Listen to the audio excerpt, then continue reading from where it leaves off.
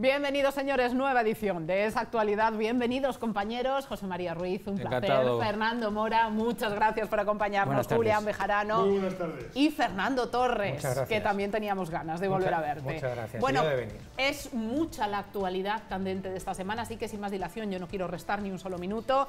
Hablamos de un día importante y polémico a la par. Como saben, el pasado 8 de marzo se celebraba el Día de la Mujer. Interpretaciones de todo tipo, críticas también muy duras para todas ellas. Yo voy a recoger algunos titulares de la prensa de, esa fecha del 8M y vosotros, compañeros, nos dais eh, opinión. Decía así ABC, éxito de participación, no de unión.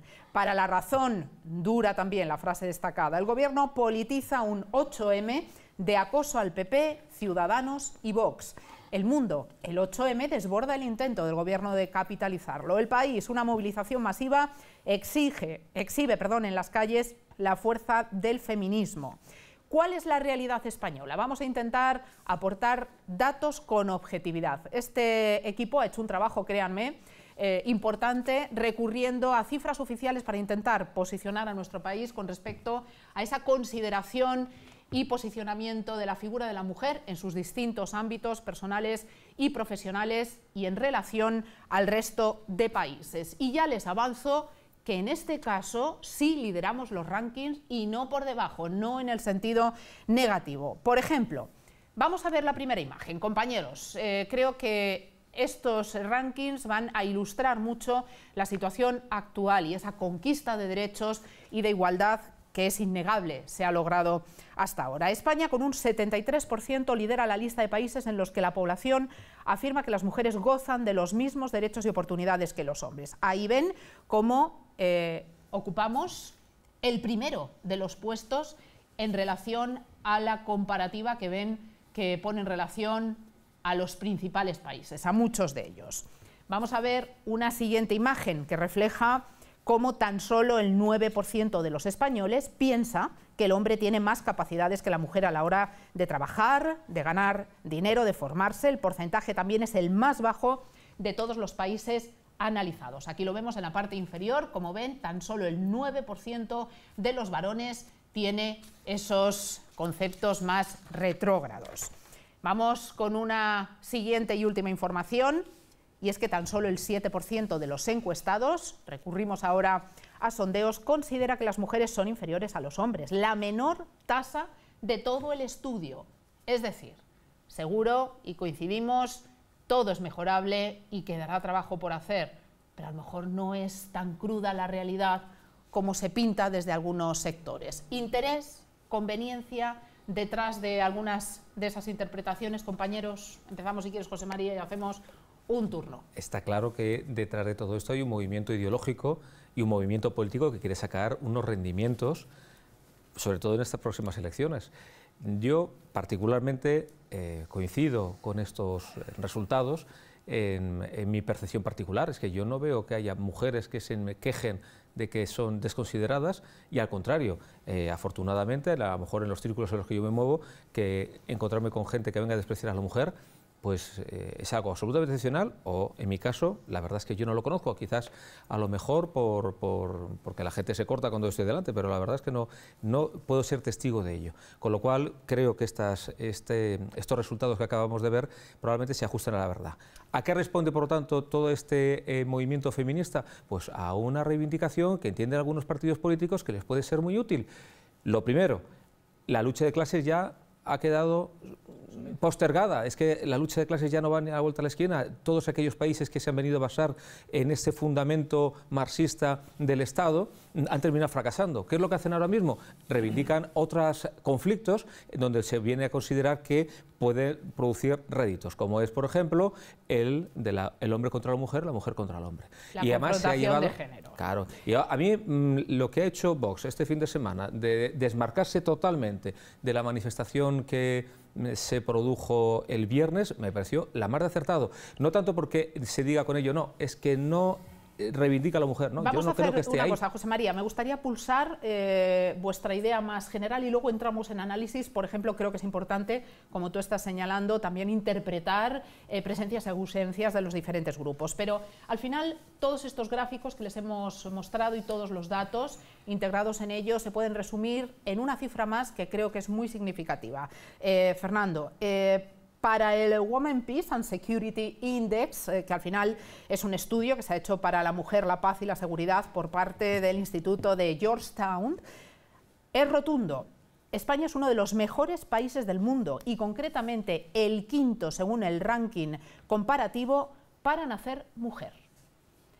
Eh, son datos objetivos, Fernando. Yo como mujer, además me he permitido pronunciarme en este sentido muchas veces, yo no he eh, padecido esa discriminación, respeto, insisto, otras vivencias y otras percepciones, por eso he comenzado mi exposición diciendo que todo es mejorable y quedará todavía trabajo por hacer, pero que quizá también hay algo más de lo que apuntaba José María, ¿o no? Yo, ¿Tú qué yo- opinas? yo creo que no lo hay.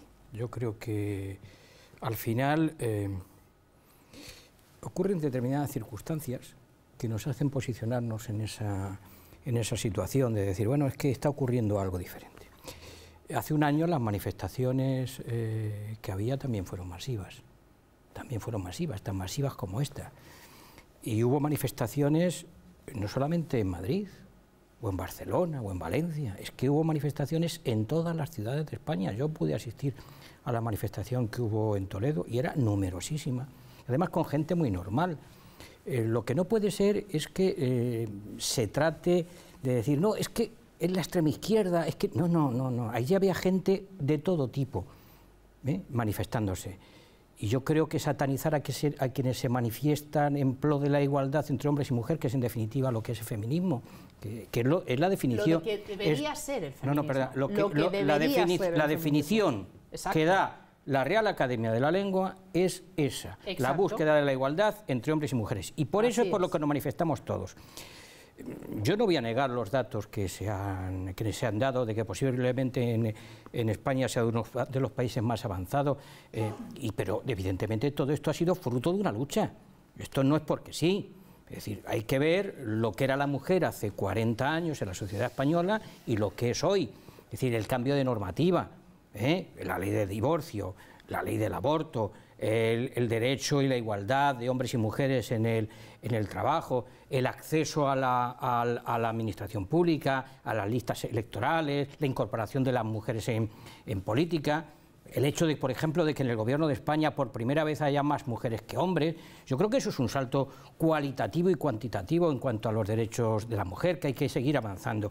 Y yo creo que también hay actitudes que movilizan, que movilizan a mucha gente que de otra manera a lo mejor no se movilizaban. Es decir, cuando hay exabruptos contra, contra la mujer. El planteamiento de vos so- sobre el tema de la... De la Espera, de luego la- entramos, de luego la- entramos. Bueno, bueno, vale, Fernando, luego si os parece, porque además sé que vais a, a diferir en opiniones, así que tendremos ya se ha metido ocasión. a, a- A ver, Julián, por la cuenta que te trae a ti en No, casa, voy hijo, a decirte- voy a esposo deciros- y padre de hijas. No, voy a deciros una cosa. Yo tengo cinco hermanas, una madre, seis tías, dos hijas y ninguna de y mi mujer y ninguna de ellas se cuestiona la igualdad entre hombre y mujer. Mis hijas están estudiando sus carreras, mis hermanas tienen sus carreras, tienen sus trabajos, es decir, yo no he visto trabajando en la empresa privada ninguna desigualdad entre la mujer y el hombre, sino sí que es verdad que se ha tenido en cuenta la cualificación y la, eh, eh, el- los resultados. Es decir, había un sueldo, había comisiones y el que mejor lo hacía ganaba más dinero, lógicamente. Esa sí que es una diferencia, pero una diferencia ganada a pulso.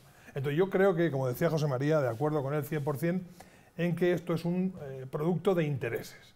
Ahí vemos en las manifestaciones que está todo lleno de banderas moradas, de camisetas moradas, de sábanas moradas, De de, no camisetas, calcetines de moradas, pantalones bajados, de pantalones bajados, de hacer haciéndose sus necesidades en la puerta de las iglesias, que a todas les da por lo mismo, por ir a la puerta de las iglesias a hacerlo. Mira, Fernando, me parece que es una bajeza de tal calibre intentar eh, estigmatizar al hombre como que somos los enemigos a batir por la mujer, es un error de base. No hay ninguna desigualdad, lo que hay son competencias para ganarse los puestos. Ahora, por ejemplo, en la universidad hay más mujeres que nunca, muchísimas más que hombres, se ganan los puestos de trabajo. Bueno, pero yo no veo, pero yo no vi el otro día sacando al niño de la- del pozo, en- en- en- al pobre niño, no, no vi a ninguna mujer minera. No veo a ninguna mujer cogiendo olivas, eh, la aceituna aquí. Es decir, son trabajos para hombres, trabajos para mujeres. Las hay, las hay. claro, pero, no, pero, lo normal es que cada uno... A ver, yo de todas maneras, perdón, creo que estamos incurriendo y favoreciendo un error de concepto básico sobre el que se sustentan eh, luego interpretaciones quizá no reales y no justas. Eh, no hay por qué afirmar que el hombre y la mujer sea igual, no lo somos. es que somos perfectamente diferentes y complementarios. Correcto, correcto Otra cosa es que se busque la igualdad en derechos y en obligaciones. Se intenta imponer esa, igualdad que no tiene ningún sentido. Y sobre todo, que una cosa es el derecho de la mujer, nunca en contra y en detrimento de los derechos y el menoscabo de los hombres, que es quizá donde también se está llevando y creo que es muy criticable, ¿no? El acoso y derribo que sentís muchos hombres por el hecho de ser hombres. Termino, tú lo has dicho hace un momento. España es el quinto país donde cualquier, eh, donde nacer mujer es mejor. Entonces, que en un país como España, donde sea el quinto país del mundo, tasado no por nosotros, sino tasado por organismos internacionales de prestigio, digan que en España nacer mujer es un beneficio increíble, no sé por qué nos empeñamos en destrozarlo todo. Al final del día lo que hay, como en todo, es intereses económicos. Lobbies alrededor del mujer y el hombre, del enfrentamiento entre mujer y hombre.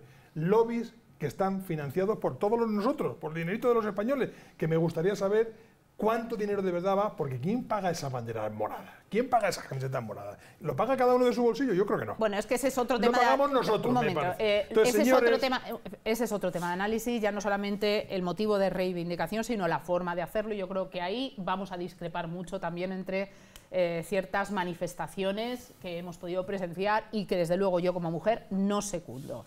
Eh, Fernando, ¿qué vais a hacer vosotros y las mujeres? Pero ¿qué haríamos también las mujeres y los hombres? que yo soy una férrea defensora de la figura del hombre porque creo que es muy necesaria. Yo el otro día estuve en unas jornadas de Derecho y Periodismo en Cuenca y, se debatía, entre otras cosas, se hablaba del tema del feminismo, de la necesidad de la igualdad.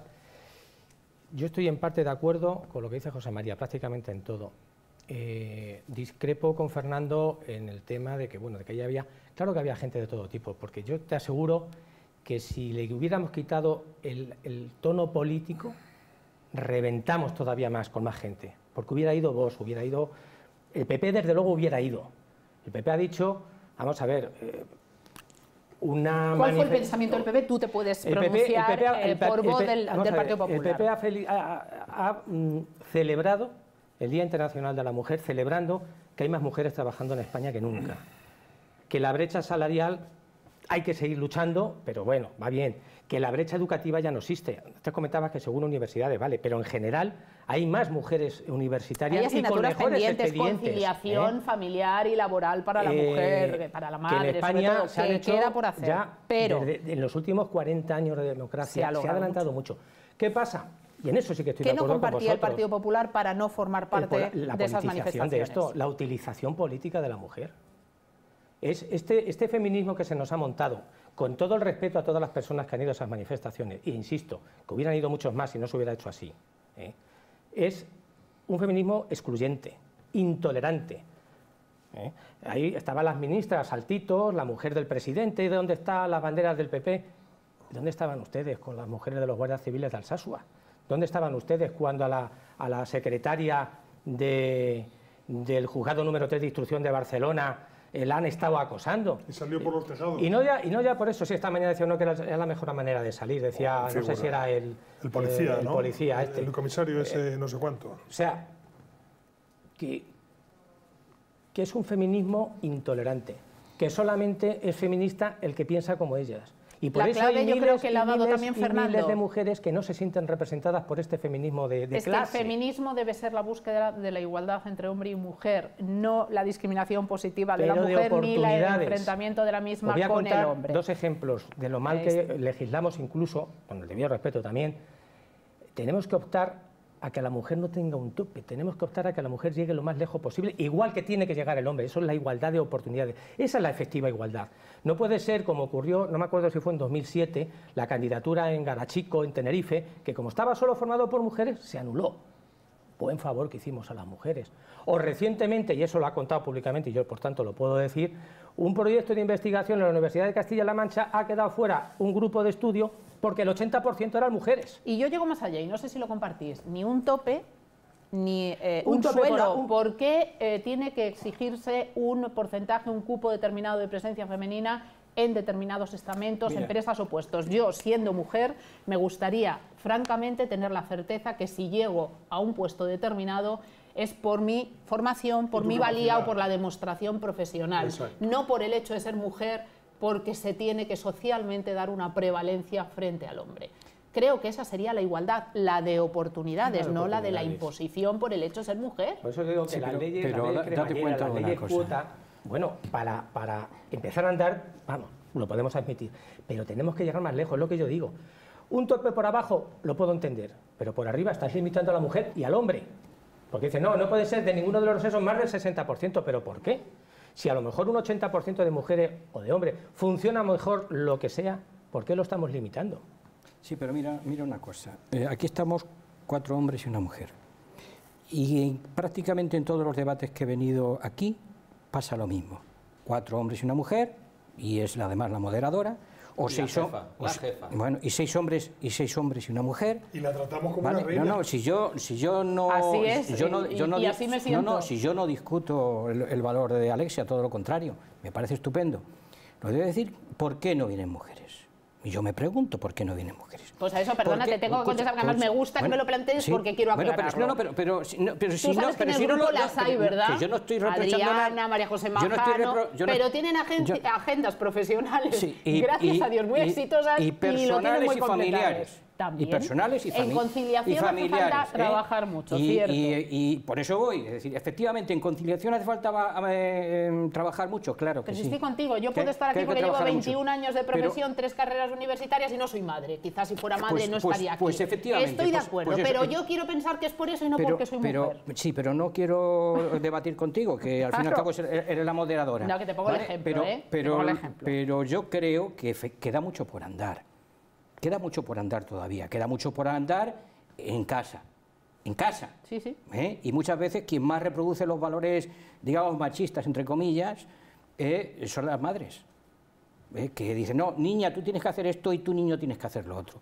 Y hay que compartir hay que compartir la vida del hogar, hay que compartir. Yo no sé si Julián la comparte o no la comparte. La vida del ¿Eh? hogar, te lo voy a contar ahora. bueno, ahora, me lo cuentas, pero, no te pregunto, si no, no sé si la compartes o no la compartes, pero lo que te quiero decir es que hay que avanzar, claro. ¿No comparto yo la vida del hogar? Claro, claro que hay, claro que hay que. Es el que cocina. No, no, déjame, déjame que se lo cuente. sorpresa, dile la sorpresa. no, pero si no, si no se trata de sorpresa, yo te, te pregunto, pero, pero cosas, decir, vamos a ver.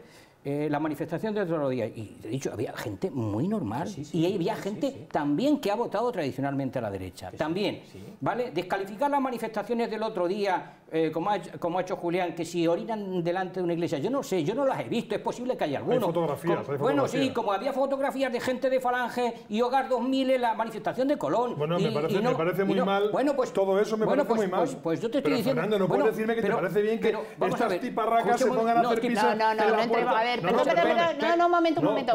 Pero perdón un momentito. Un momentito, perdón, perdón, Fernando. Eh, no, descalificaciones no, porque además, desde el punto de vista legal, en esos 21 años no tenemos una querella, no vayamos a o sea, una persona que se pone a hacer sus necesidades en la puerta de una iglesia, enseñando, perdóname, el trasero. Pues una guarra, ¿qué crees que bueno, te diga? Sí, claro, una guarra. lo ha dicho Fernando, una guarra.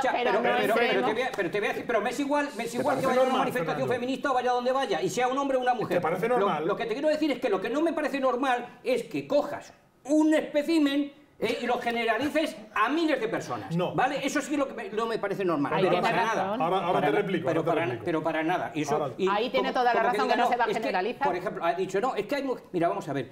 Eh, entre hombre y mujer, la única diferencia que hay es biológica. La única. ¿Vale? Y lo que lleva consigo la biología. Pero lo que no puede ser es que estemos aquí. Eh, no, es que las mujeres no van a recoger olivas. Yo he visto muchísima gente recogiendo olivas, muchas mujeres, muchas mujeres. Ahora no, porque ya se han formado mejor y están trabajando en otros bueno, no, pero sigue habiéndolas, sigue habiéndolas. Y las fresas las recogen mujeres, aunque sean extranjeras, mujeres. ¿Vale? Y, que siga habiendo desigualdades, sí. Y que eso es lo que moviliza también. Y el hecho de que. Y, y han movilizado mucho más, porque estas manifestaciones han sido más numerosas que las, de, las del año pasado, como consecuencia de algo en el que muchas mujeres se sienten atacadas. Es decir, cuando se dice hay que abolir o hay que quitar o derogar la ley contra la violencia de género.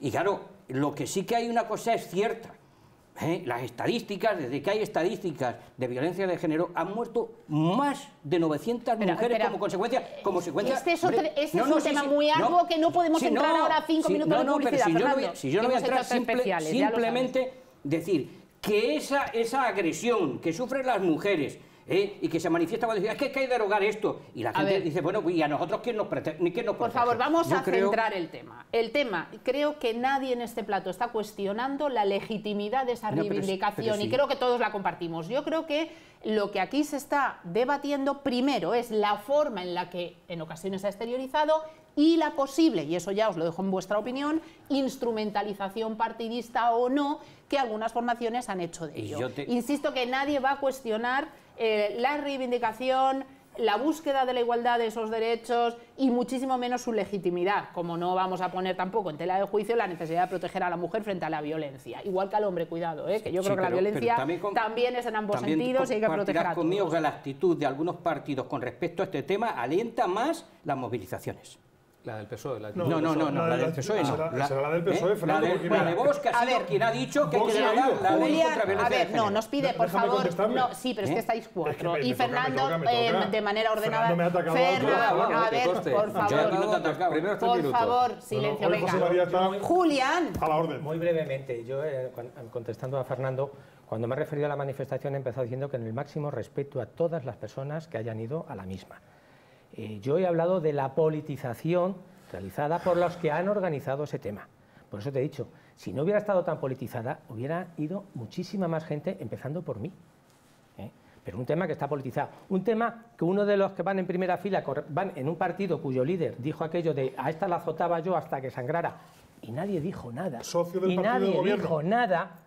No me, no me, merece el más mínimo respeto en el sentido de ir con ellos. Yo no puedo compartir una manifestación con personas que si la agredida, la humillada, la acosada no piensa como ellos, no tienen la protección de ese feminismo elitista, no, elitista eh, exclusivo, como he dicho, excluyente, perdón, que he dicho antes, e intolerante. no creo que sea así, Fernando. Pues esos son hechos, Fernando. Perdonadme, perdonadme un matiz que son creo. hechos que han salido los medios Un matiz, perdón, un matiz importante creo, eh, además es que estamos de acuerdo. Em, saco el ejemplo porque es el que has utilizado tú, que creo que además es muy bueno y que me gusta que se ponga de manifiesto porque así nos sirve para aclarar. Eh, una realidad social es que dentro de esa igualdad y de la libertad de la mujer está su elección, elección para dedicarse o formar parte de determinados sectores y profesiones. Este programa es un ejemplo claro en el que bien sabéis todos vosotros que no solo está abierto a mujeres, sino que tengo un deseo tremendo de que efectivamente se incorporen y que de hecho hay mujeres que forman pues parte de este equipo, pero que... Y yo me pregunto, ¿por qué no vienen? Pues mira, la realidad es que dentro del mundo del periodismo hay unas ramas como es la política en la actualidad en la que todavía pues es cierto que hay una mayoría masculina frente a otras ramas, podemos pensar en la prensa rosa, en la que hay una minoría de hombres. Y a mí me gustaría además, te digo una cosa... Y hay una libertad absoluta, fruto de esa libertad, la elección de cada uno. Sí, pero mira, a mí me gustaría una cosa, que este debate, en vez de tenerlo hombres, hubiese mujeres mm, de un lado y de otro, que opinan una cosa y de otra, para realmente confrontar qué opinan ellas. ¿Vale? Y eso no está sucediendo, estamos interpretando a la mujer. Y me parece que es un... eso es, no, escucha un momentito. Sí, sí, sí, sí, sí, sí, Fernando, sí. Sí, yo creo pues mira, de momento, las mujeres de este equipo libremente hoy no han querido estar pero bueno, pero sí, pero, A lo mejor es que entienden que ni siquiera es necesario el debate, ¿eh? Eso también hay que pensarlo. no, sí, sí, sí es necesario. O sea, Para algunas mujeres, digo, que a lo mejor no, no tratemos de abstraernos para justificarnos. Creo que es importante que las mujeres nos expliquen cuáles son sus posicionamientos con respecto al problema de la igualdad, ¿eh? Y no nosotros que estemos interpretando cuál es ese posicionamiento. a mí ¿eh? me gustaría saber cuál es el problema de la igualdad, de verdad. Es que no, mira, yo, yo, yo os he escuchado a todos, pero yo esta mañana me he ido a un juzgado donde era la juez, la secretaria, bueno, ahora se llama letrados de Administración de Justicia, y todos los tramitadores mujeres. Solamente había un hombre en ese juzgado, es decir, de los de la plantilla, que ¿cuántos eran? 8, 9, 10, 11. El único hombre era el agente que es la persona que viene a realizar los trabajos de, gestión, de correos y tal, ¿no? Eh, claro, me dice, no, es que no, hay igualdad, no hay igualdad, pero ¿qué demonios es eso, hombre? Yo, de verdad, es que yo vivo igual que tú en este país. José María. Yo, yo, lo único que veo con todo esto es una voluntad de enfrentamiento entre sexos, porque de ese conflicto hay gente que considera que puede rebañar un montón de votos. Intentando explotar una realidad que es cierta, que es que la sociedad se ha embrutecido, que es donde tenemos que ir. La sociedad se ha embrutecido y ese embrutecimiento, ese envilecimiento, dentro del ámbito doméstico, se ha traducido en una violencia que viene a tener su mayor exponente en las víctimas eh, mujeres con relación a las víctimas hombres, porque evidentemente son más elevados las estadísticas de muertes de mujeres que no de hombres. Pero eso es un em-, embrutecimiento general de la sociedad. Si tú no vas a la raíz de todo esto, si te quedas en lo que es eh, superficial, al final, ¿qué es lo que te encuentras? Adhiriéndote a estos manifiestos, como el que estamos viendo ahora mismo en nuestra, en nuestra espalda, que es absolutamente absolutamente irracional. irracional. Vamos a utilizar esa palabra. Iba a decir otra, una palabrota y, no, no, es de recibo. De verdad, mm, en, este mundo vivimos todos. Y yo todavía, lo que decía antes Julián, que yo lo suscribo totalmente, yo tengo mi esposa, tengo mi hija, tengo hermanas, primas, yo todavía no he visto a una persona que se le haya discriminado. Yo no te voy a decir en la recogida de la fresa, porque la verdad es que no tengo experiencia en ello. Pero yo me dedico al mundo también de la empresa y yo veo que a las mujeres se les contrata y se les paga según convenio y si se les, se les paga más que el convenio, yo hasta lo que he visto es una cuestión de pura competencia. Es que este, este, profesional me interesa más que este o este me interesa más que el otro. No creo que esté Alexia sentada en esta silla moderando este programa porque no haya otro, un hombre que hacerlo. Está porque es una mujer súper cualificada. Entonces, es cierto, somos cuatro hombres. Bueno, y, es cierto, a lo mejor no hay más mujeres porque mm, están dedicados ahora mismo pues, a, sus hijos. Puede ser. Bueno, ¿y eso es envilizar a la mujer?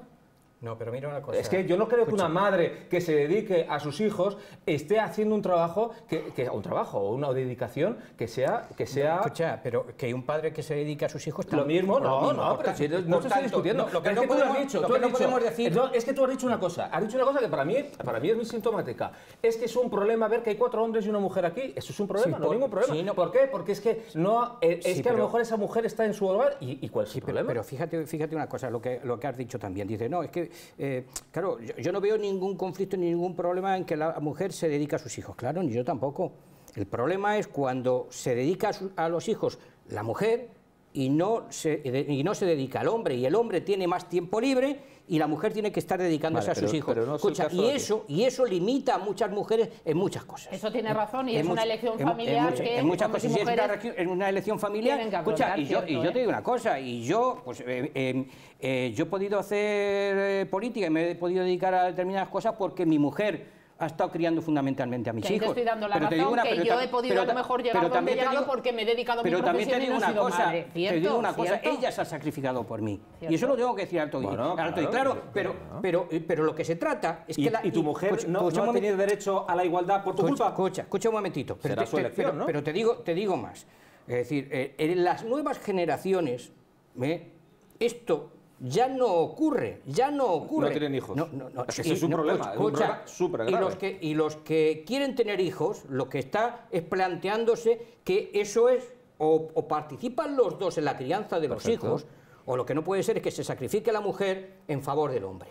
Eso, es lo que, eso es lo que no puede ser. Y por tanto, y luego, no admito lo de la guerra de sexos. Ahí estamos todos de acuerdo. Y, no admito lo de la guerra de sexos. Podréis, podéis interpretar como queréis la, la, historia. Es decir, pasamos, no hay lucha de clases y hay guerra de sexos. No hay guerra de sexos. El otro día, la manifestación en la que yo estuve y en las que hubo en toda España, había tantos hombres como mujeres. Tantos hombres como mujeres. Porque el feminismo que me puedo creer yo es el de la igualdad de derechos y obligaciones de hombres y de mujeres. Eso tú. Y que la única diferencia, y, la inmensa mayoría de la gente que iba... ¿Escuchaste las panfletadas? ¿Escuchaste, escuchaste todas esas arengas que hicieron con los micrófonos que, eran absolutamente que panfletadas, panfletadas se oyen en todos los sitios Pero no te con, con, los que estamos hablando de esa manifestación. Lamento, mucho, lamento mucho en el fervor del debate tener que cortar pero fíjense, este es el aperitivo solo. Tenemos que hablar de elecciones, tenemos encuestas, eh, actualidad internacional, sí, Julián.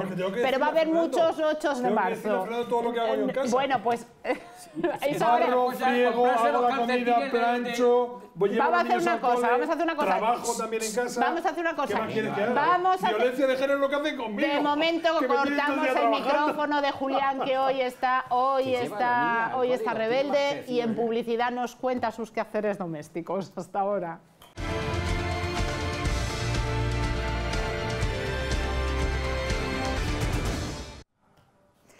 Pues bien, eh, tenemos que cambiar de asunto, seguro que retomaremos eh, ese interesante debate que, teníamos que parar para publicidad, pero no va a faltar también, sin duda, eh, la vehemencia con la que vais a, defender cada una de las posiciones, porque ya estamos todos situados en ese 28 de abril. Elecciones inminentes han comenzado ya, lógicamente, los movimientos, estrategias, campañas y todo tipo de eh, bueno, pues, eh, intentos por cada una de esas formaciones de conseguir ese respaldo de votos. La cosa se pone apasionante desde el punto de vista analítico. Vivirlo desde dentro será otra cosa. En cuanto a estrategias, muy cuestionables, no sé lo que pensáis vosotros, pero prácticamente es un todos contra todos. El Partido Popular se focaliza en intentar que Vox sea el enemigo a batir, incluso y yo creo que esto es la primera vez que ocurre en democracia, llegar a pedirle que no se presente en las provincias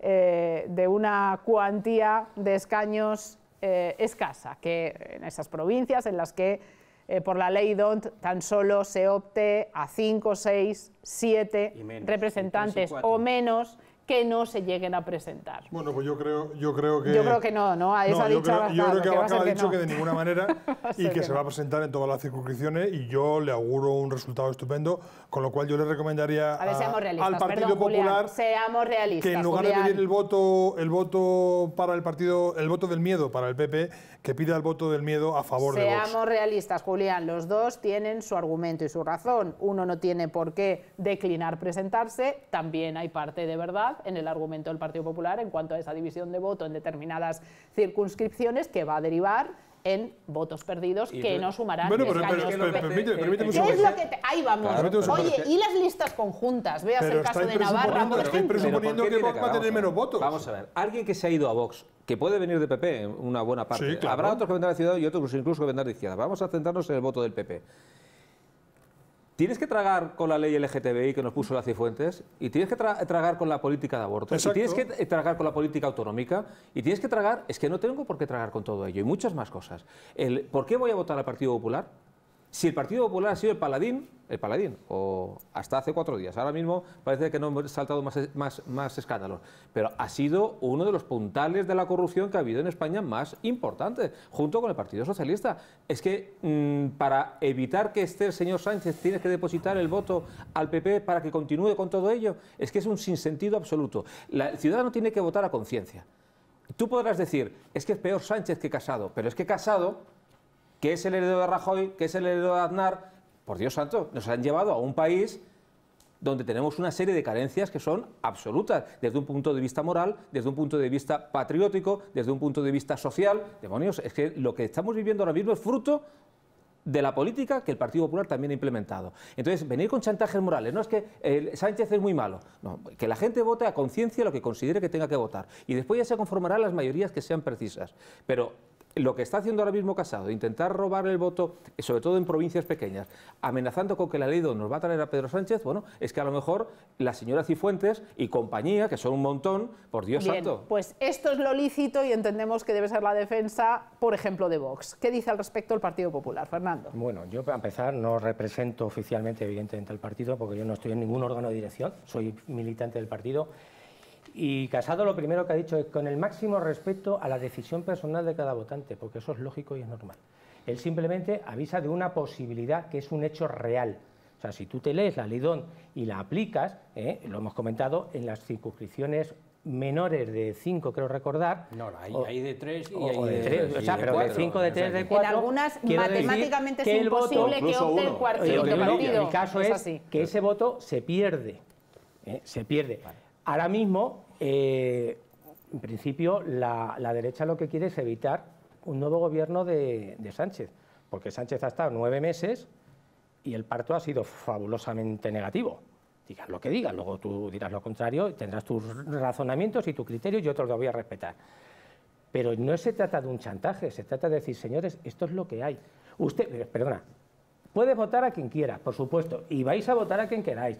Y me parece muy legítima la contestación de Santiago Abascal. Le dice, no, no, yo soy de vos y yo voy a defender a vos en todas. Pues perfecto, fenomenal, si no hay ningún problema.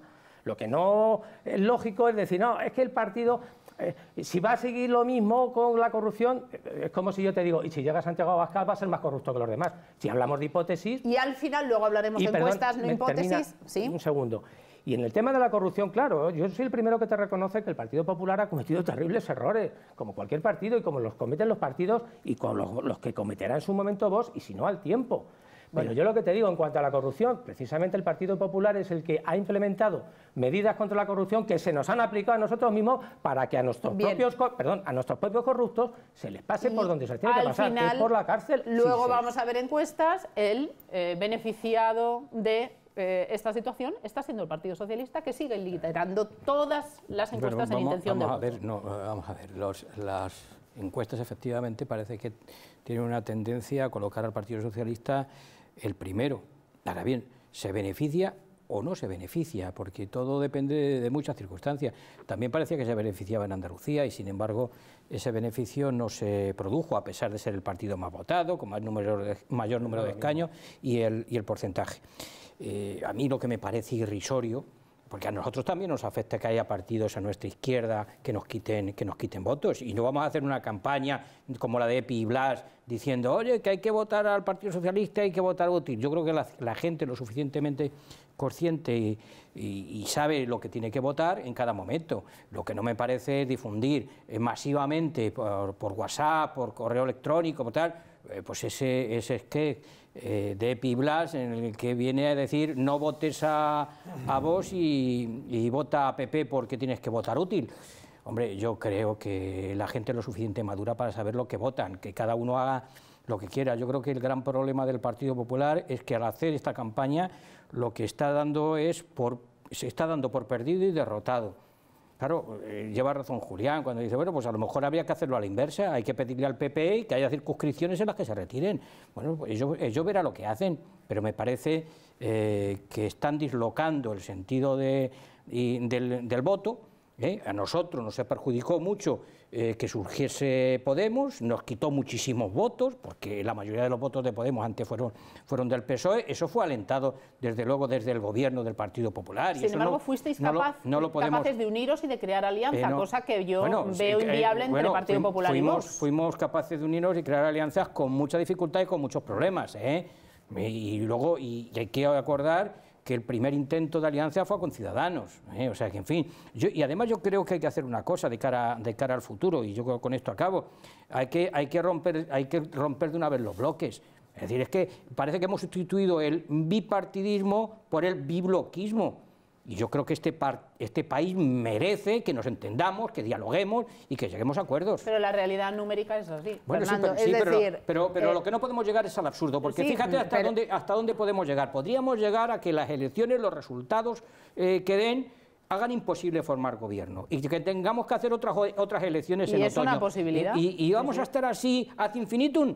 Pues yo creo que no. Es decir, yo creo que aquí hay que abrir eh, un poco las mentes y abrir las puertas a que evidentemente caben otras posibilidades de gobierno en hacia la izquierda, hacia la derecha, pero, pero de verdad, no podemos dividir el país en bloques. Yo creo que debemos centrarnos de verdad y no, y no, y no meternos en un absurdo. ¿Qué es lo que puede pasar? Lo está apuntando Fernando con acierto. Eh, tenemos encuestas interesantísimas que intentan adelantarse algunas de esas posibilidades. Es inevitable. Eh, formar esos bloques, sumar cifras e intentar analizar las diferentes posibilidades de esa formación de gobierno, que efectivamente no se perfila eh, sencilla. Sí puede haber un acuerdo. En el conocido y llamado bloque de izquierdas cada vez se ve más difícil la alianza y el acuerdo en el bloque de derechas. Según ABC, la mayoría censura al gobierno por sus decretazos en un periodo electoral y arroja estos resultados que van a ver. Responden a dos preguntas. ¿Es partidario de que el Gobierno apruebe medidas durante la pre-campaña electoral por decreto ley? Ahí tienen sí, 32,6%, responden negativamente el 52,6%, no saben, no contesta el 14,8%. Y otra cuestión que plantea también esta encuesta de ABC, y con ello tratamos de eh, estudiar razones que puedan justificar esos movimientos de los diferentes partidos en las encuestas que vamos a ir mostrándoles. ¿Cree usted que Rivera cumplirá su compromiso preelectoral de no pactar con Sánchez? Bueno, pues tan solo creen a Rivera el 24,1%, no el 56%, el resto no ha dado una contestación. Claro, existen precedentes para no tener esa, certeza. Y nos ha preguntado por una cosa que a mí me parece interesante. ¿Usted cree que Rivera mm, va a pactar con, con Casado y con Abascal? Eso también, eh, ¿Es usted partidario, sí o no? Eso también hay que preguntarlo, ¿vale? Y no quedarse solamente eh, con el problema de Sánchez. Porque también Rivera, en la anterior eh, ocasión, dijo que no iba a pactar ni con Sánchez ni con Rajoy y en un primer momento pactó con Sánchez y luego acabó pactando con Rajoy, o sea que en fin. Y Sánchez dijo que no iba a pactar ni con Podemos ni con los independentistas y luego ah, si ha tenido gobierno ha sido gracias bueno, pero, a Y Albert Rivera ha negado que eh, pactara con Vox eh, directamente en Andalucía, ha tenido que, respetar al menos El único que ha cumplido hasta ahora sus acuerdos de gobierno ha sido, de gobierno no, de, ha sido Vox en Andalucía. De apoyo, porque no De apoyo al gobierno. Ha sido Vox en Andalucía. Es decir, de momento el que no ha faltado a su palabra ha sido Vox. Entonces yo creo que la situación... ha dicho que si tiene que pactar con Vox a no, nivel no, nacional... Y te, y te voy a decir, y yo creo que Vox no va a ser nunca responsable de que no se gobierne, de que no se eche o se quite al presidente Sánchez, no va a ser nunca Vox responsable. Por lo tanto, yo creo que sin ninguna duda, si llegara ese momento, que yo creo que va a llegar, que es posible que el Partido Socialista gane en número de escaños, seguramente ganará en número de escaños, pero también ganó en Andalucía y gobierna el Partido Popular con Ciudadanos. A ver cómo maridamos esto, porque efectivamente todas las encuestas dan al Partido Socialista como eh, primera formación política. Sin embargo, las eh, casas de apuestas dan a Casado como el candidato más probable para presidir el gobierno, el que menos Pablo Iglesias, que existe, ¿eh? además de ser papá, sigue todavía. un pequeño comentario con el rótulo este, eh, el asunto del decreto ley, ¿no? El hecho que la gente rechace la forma que se tiene de legislar es que tiene toda la razón de este mundo. No hay derecho a que se utilice un mecanismo de urgencia, como viene a ser el decreto ley, para que luego sea validado por el Congreso eh, de, manera que, como no es capaz de sacar adelante ningún tipo de iniciativa legislativa, se acoja a estas razones de urgencia sin que haya urgencia para ponerse un tanto. Y como esto ya será aprobado por otro Congreso, entonces eh, será más política... Son medidas eh, electoralistas. efectivamente, para decir, no, es que aquí las, políticas sociales no Pero como ha dicho el, este, el, Tribunal, de, este, la Junta, electoral no habla de logros, no, entonces pues no. No, no, claro, pero, en la técnica, pero la técnica legislativa está, no nos gustará, pero desde luego que está haciendo un uso de las instituciones a nivel electoral. Esto está más puede, nos puede gustar más o menos que se hagan decretos leyes, ¿vale? Pero es una cuestión de gustos. No, no, no. Por, no, escucha, un momentito, déjame terminar, porque que, ¿vale? sí, no, a ti, a ti no te gusta y a mí no me importa. Y hay, y hay, no, porque no, porque bueno, venga, y no son cosas de gusto, y a mí, escucha cosas jurídicas. Si no, hombre. A ver, compañeros, en orden. terminar, no puedo completar Venga, venga.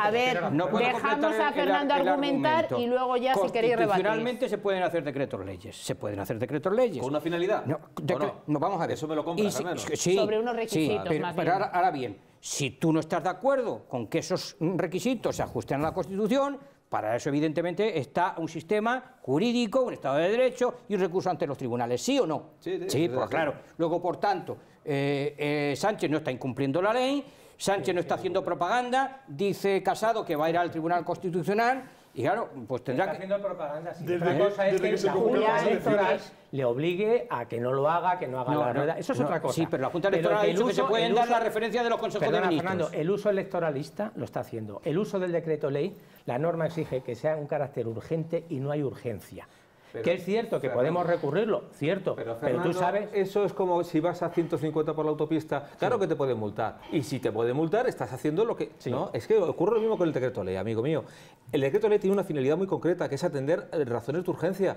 Y si no, tienes que utilizar el, procedimiento ordinario. Esto es burlar, esto se le llama fraude de ley. Fraude de ley. Que desgraciadamente el fraude de ley tiene unos efectos que van a ser a largo plazo. Pero yo lo que no estoy diciendo que no pueda legislarse por decreto ley porque el decreto José María, algo importante. Fraude de ley es una figura jurídica que no significa que se esté cometiendo una ilegalidad. ¿eh? No, sí, sí, fraude de ley es una ilegalidad. No, pero es otro procedimiento. una legalidad si hay fraude de ley. pero no hay fraude de ley en este caso. Es una manera de burlar la ley. Eso sí, eso sí, eso sí, porque emplear decretos no es ilegal. No te ¿eh? preocupes, no te preocupes que no es injurioso el asunto y no hay ninguna responsabilidad. Fraude de ley es algo ilegal, ya te lo digo, pero es que eso es mi opinión jurídica. No te estoy diciendo que no es una cuestión que tenga que ir a un tribunal de lo criminal ahora mismo. Es que si tú estás utilizando el decreto ley que tiene una, como finalidad atender razones de urgencia para eh, colar una serie de, medidas que se dicen que son sociales, porque yo no me las creo, con la finalidad de poder obtener votos cuando no hay una razón de urgencia, eso es fraude de ley. Utilizar la ley en un sentido diverso a aquel por el que ha sido creada. Y eso es lo que yo creo que está haciendo el gobierno. Y por eso la gente lo termina rechazando, porque el efecto práctico va a ser mínimo, porque dentro de tres meses pueden ser, ser tirados abajo. Y luego lo utilizará, en primer lugar, con fines electorales. No, nosotros hacemos políticas sociales. Y cuando se lo tumben, dirán, no, es que esta gente hace políticas antisociales. Y eso es pues para mí no es de recibo. O sea, eso quiere decir que los partidos que os oponéis a, estos decretos leyes estáis pensando que si, que, si, ganáis los vais a derogar. Porque eh, te recuerdo una cosa, eh, al final estos decretos leyes tienen rango de ley, tienen rango de ley una vez, una vez aprobados y convalidados por el Congreso. esto no deja de votarse en el Congreso de los Diputados. Claro. ¿vale? lo que pueden votar lo que tú quieras. un momentito. Lo que evidentemente no se hace es el trámite parlamentario normal. Pero se votan en el Congreso de los Diputados y por tanto los partidos, significa que esté bien. los partidos, los partidos, se es más, eh, la mesa del Congreso intentó a través de Ciudadanos impedir que esto se debatiese en el Congreso de los Diputados y pidieron informe jurídico a los letrados de las Cortes. Los letrados de las Cortes han dicho que, no se, que la mesa no puede parar la tramitación de un decreto ley ¿eh? y que eh, lo tiene que debatir la Diputación Permanente. Luego, por tanto, más luego el tema de la Junta Electoral Central, que también ha quedado bastante claro. Luego, bueno, eh, que, mm, el Gobierno lo está haciendo por el electoralismo. Pues bueno, pues eso es una, una visión. Casado y Rivera lo están haciendo por el electoralismo, el oponerse a, a todo esto, también. Si es, si es que es así, porque vamos a ver, ¿quién es más electoralista en esta historia? Porque, pero eh, Fernando, reconoceme que al menos esto tiene, tienes unas implicaciones prácticas sí, pero, que, puede ser gravosas. Por ejemplo, te voy a poner un ejemplo de mala praxis legislativa. La aprobación por decreto ley de la modificación de la ley de arrendamientos urbanos. Te encuentras con que después te lo tumba el Congreso porque no hay razones para poderlo aceptar y hay un periodo de dos meses en los cuales los contratos vienen a tener, por ejemplo, una duración distinta que el resto de los contratos de arrendamiento que tendrán una, legislación distinta a la aplicable. porque el decreto ley produce efectos. José María, no, queda en suspenso. Perdóname, quien convalida, quien convalida ese decreto ley, cualquiera de los decretos leyes que se están viendo, no será el nuevo Congreso que se constituya, sino la Diputación Permanente que tiene todas las capacidades del Pleno del Congreso y lo, y lo hará en la Diputación. Eso yo tengo mis dudas que la Diputación Permanente pueda convalidar un decreto ley. Una cosa es la tramitación del decreto ley, que, eso sí estoy de acuerdo. Y la convalidación, porque eso es lo que eh, de alguna manera trataban de impedir ciudadanos que se hiciese a través de la mesa de las Cortes para que no lo tramitase. Eh, la Diputación Permanente tiene todas las facultades. Los decretos leyes lo que no pueden es modificar una ley orgánica, pero una, una ley ordinaria sí. Entonces, por tanto, y, y decretos leyes, y no vayamos aquí a engañar a nadie, los decretos leyes los han hecho todos los gobiernos, ya sean socialistas o del Partido Popular, a lo largo de los 40 años de democracia que llevamos. Por eso hay que votar, partidos alternativos, porque el Partido Socialista y el Partido Popular han estado utilizando la misma técnica legislativa nefasta. Bueno, a ver, no, se trata, se trata de eso para que eh, eh, partidos como el vuestro pues eh, ejerzan y hagan decretos leyes si es que alguna vez gobiernan, porque no, está la Constitución y es posible. Pues Julián, ahora sí, en orden, venga, Yo creo que el Partido Socialista está en campaña desde que convocaron las elecciones utilizando todos los resortes del Gobierno y del Estado en beneficio propio. Es decir, vais a ganar seguramente en, votos, aquí queda, queda grabado, vais a ganar en votos seguramente, lo que no va a permitir gobernar seguramente porque afortunadamente la derecha o el centro derecha o llámalo como quiera, me da exactamente igual, Vox, Ciudadanos y Partido Popular van a tener más votos, van a sacar mayoría absoluta y van a gobernar. Por lo tanto, la fiesta se acabó. Pero hablas a nivel nacional. A nivel nacional, por supuesto. El derroche, el derroche al que está sometida España en este momento, económicamente hablando, nos va a llevar a una crisis de incalculable tamaño a partir del mes de noviembre. Por lo tanto, yo creo que es bueno para España que el Partido Socialista deje de gobernar porque la gestión económica no brilla por su... Vamos a aplicar el que no estamos en campaña, pero ninguno, porque yo creo que ya la están haciendo cada uno yo estoy hablando con datos reales, es decir, la economía, la economía está en, completo, en completa ralentización. Vamos, pero, no es un problema de España. ¿eh? Más encuestas. Si quieres hablamos de ello. Venga, y las recogemos si quieres contigo, Fernando. Barómetro de GAT3 de ABC, seguimos con el diario. Por cierto, hay muchos que coinciden en que por lo menos la aproximación de GAT3 suele ser mayor que otras encuestas dentro de la inverosimilitud de todas ellas en el escenario que estamos viviendo. Pero estos serían los resultados para GAT3 y ahí tienen lo que hemos denominado el pactómetro porque eh, yo estoy de acuerdo con Fernando, ¿eh? por cierto, como en casi todo, pero la realidad es otra y es que o establecemos esas sumas y esos bloques o no hay gobierno. Las mayorías eh, por sí mismas y mucho menos las absolutas ya forman parte de otros tiempos. El Partido Socialista, según GAT3, lideraría eh, esa intención de voto y además con una diferencia holgada con respecto al segundo grupo que sería el Partido Popular.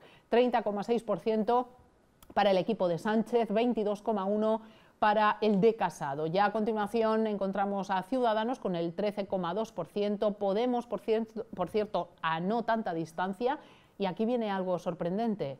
Vox irrumpiría por delante de Podemos, por tanto, posicionándose como cuarta formación, el equipo de, eh, de, Santiago de Santiago Pascal. Bueno, el resto ya lo tienen en porcentajes minoritarios. ¿Cuáles serían los resultados si hacemos eh, sumas y posibilidades? Pues ya lo ven, Partido Socialista con Ciudadanos se quedarían con 134, no es suficiente.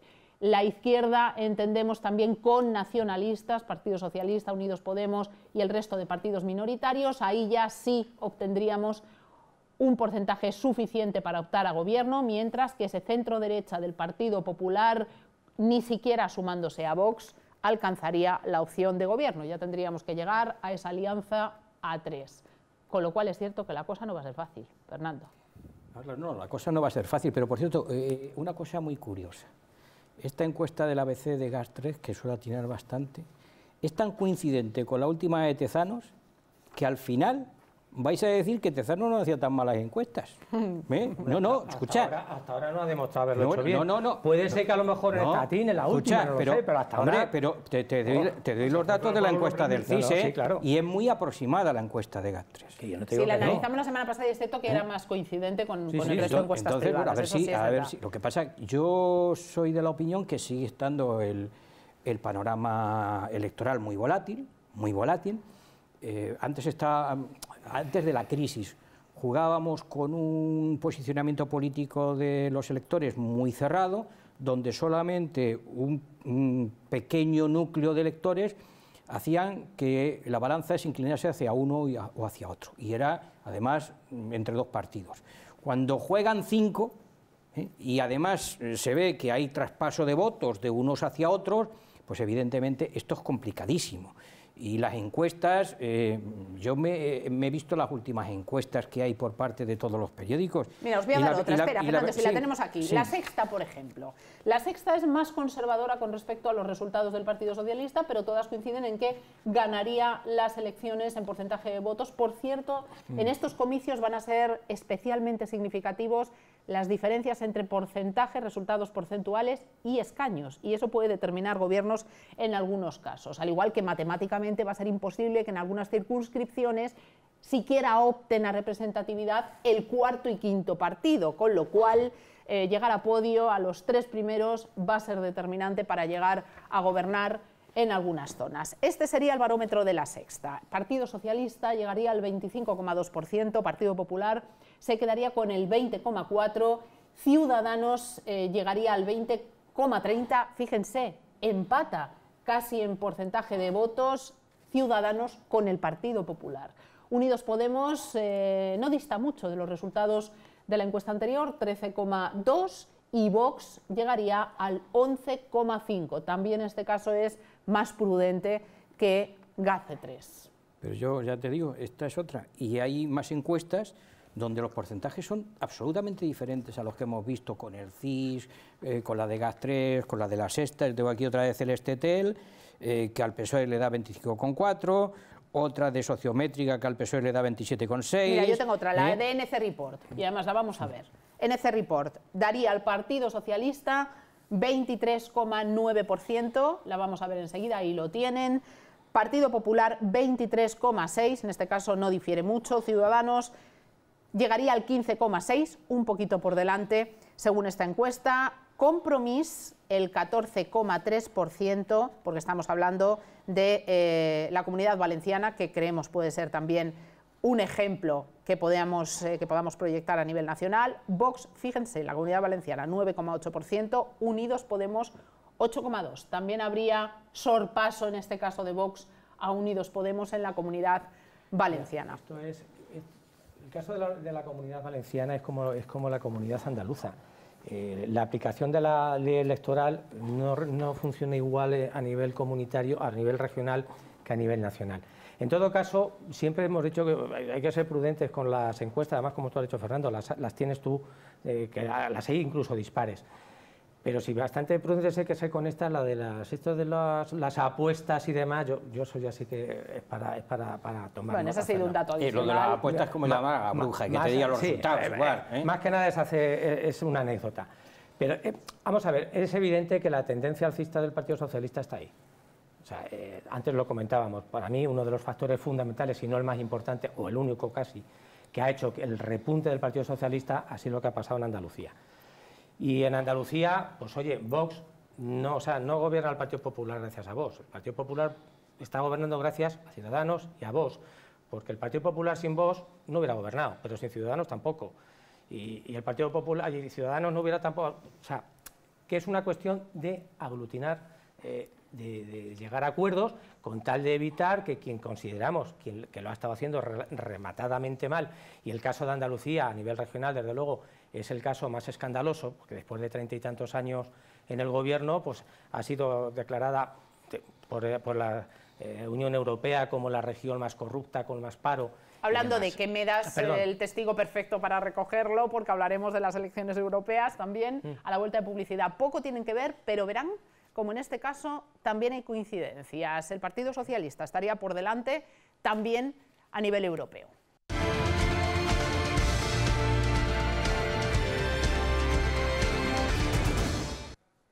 Bien, pues quedaba pendiente el análisis de encuesta a nivel europeo. Ahí tenemos previsión para el Parlamento Europeo. Partido Socialista también sería la primera formación con 19 escaños. Ahí lo van a ver enseguidita, ahí lo están viendo.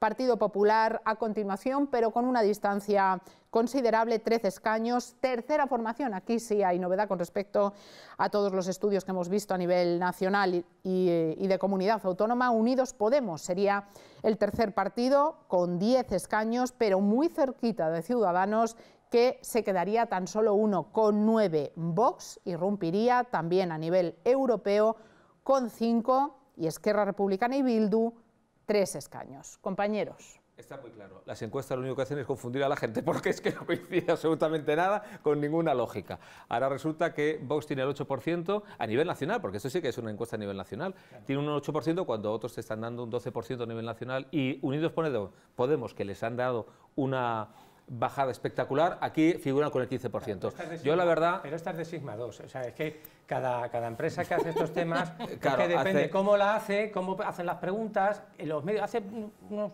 hace bastantes programas, tú comentabas, claro, que el tema de lo del teléfono, o sea, que la manera de hacer las encuestas, eh, que como tú lo hagas, tú consigues el resultado también. Claro, ¿Eh? según las preguntas, vamos cómo se vengan a formular. Evidentemente, en, en, el tema de las encuestas, depende... Eh, y yo no quiero poner en duda la profesionalidad de, las empresas encuestadoras, ¿verdad?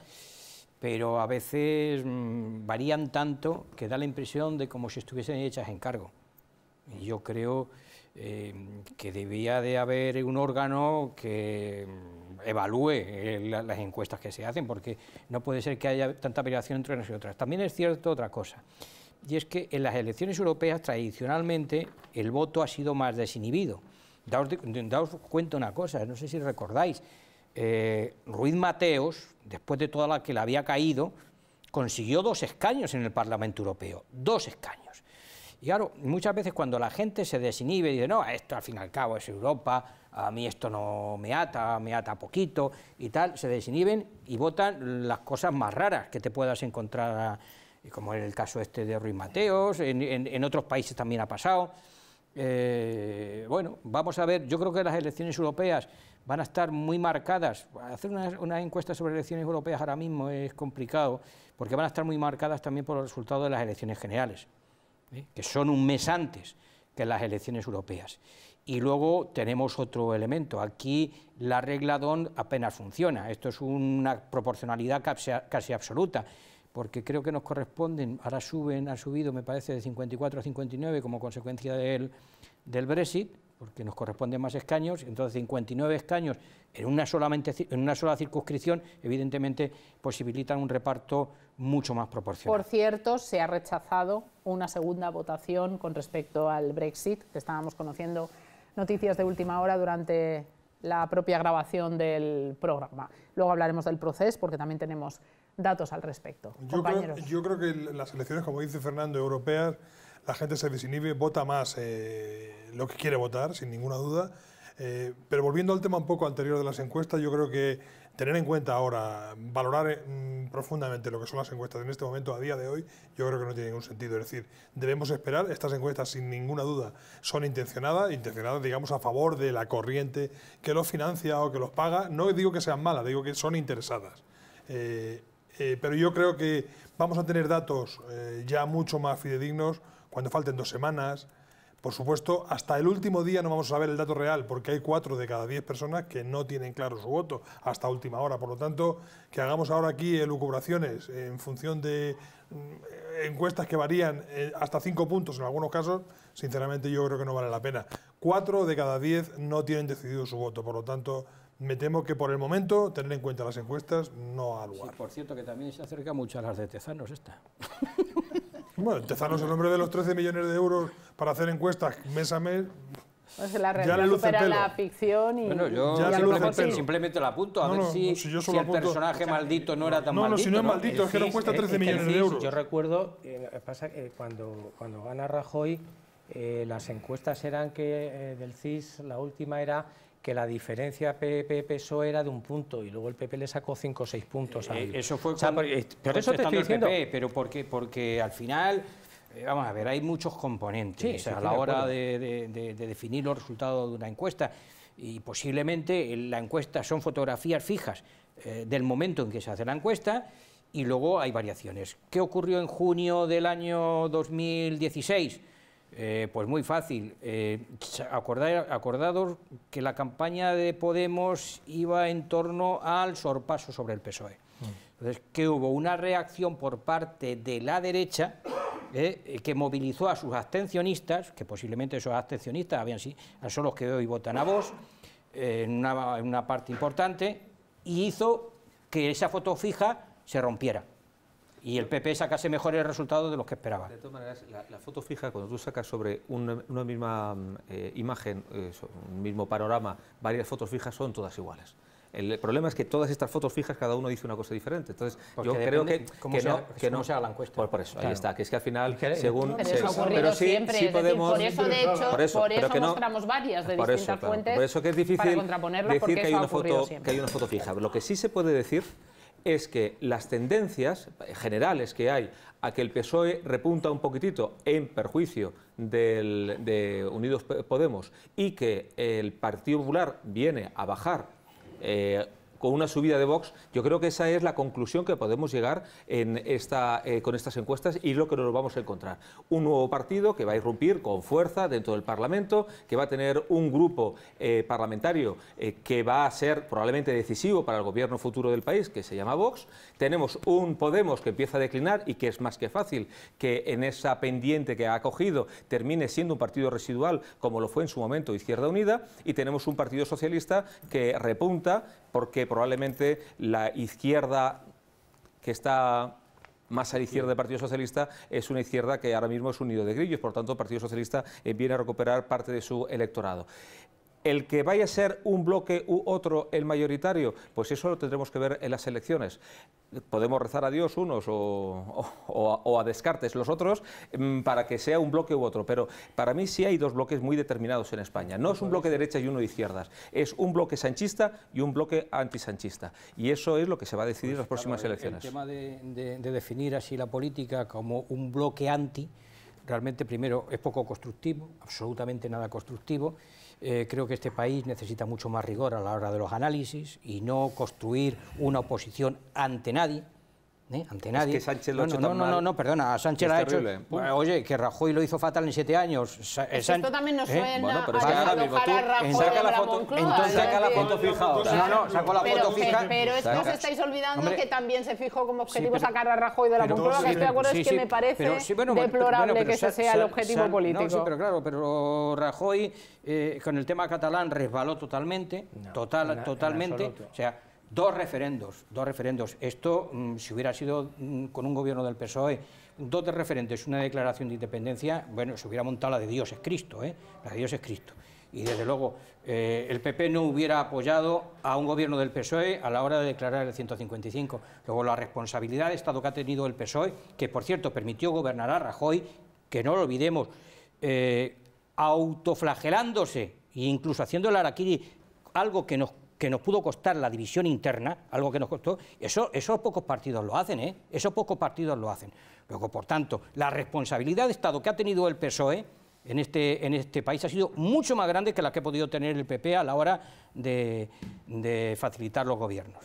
Julián, Yo creo que les va a costar mucho, tanto al PSOE como al PP, volver a convencer al votante de que son partidos eh, creíbles y que cumplen sus compromisos. El Partido Popular, por ejemplo, ha financiado un golpe en Cataluña y sigue diciéndonos que somos un partido serio y un partido que tiene que mm, reclamar el voto de Vox para, mm, por favor, eso no ha lugar. Un partido que promete derogar la ley de memoria histórica cuando tiene mayoría absoluta y no hace nada. Un partido que mantiene a un tipo el otro día en el Congreso de Sevilla dándole aplausos a Rajoy, uno de los dos o tres peores presidentes de la historia de este país, que nos ha llevado a que el amigo Sánchez esté gobernando en este momento en España. Y el Partido Socialista, que estaba en derribo con 84 diputados votando. Y pactando con, con- con independentistas, con A Fernando le separatistas. está dando vueltas la y cabeza. con toda esa tropa, con toda esa patulea de votos, hasta conseguir ganar eh, las elecciones para darle indulto a los, a los independentistas, a estos que están jugando ahora en Madrid, me parece que es un despropósito total. Y por eso, y por eso España, que estamos en una situación de emergencia nacional,